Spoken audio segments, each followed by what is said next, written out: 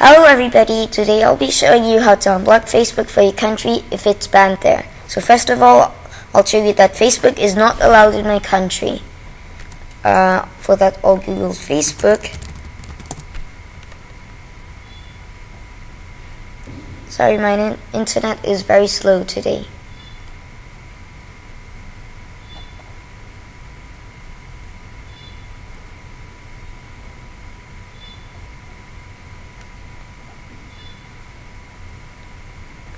Now click Welcome to Facebook, login, sign up or learn more.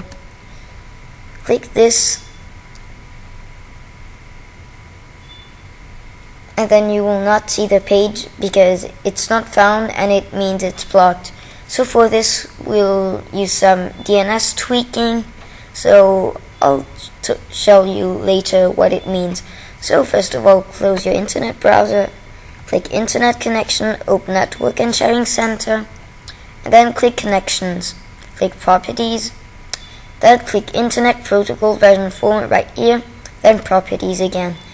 Instead of obtain DNS server address automatically, check use the following DNS server addresses.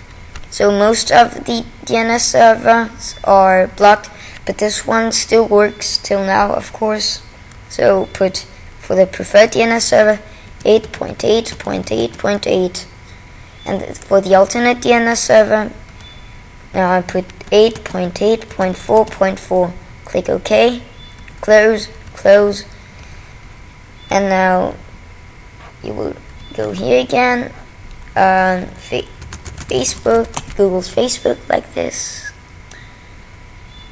Oh god the internet is slow today.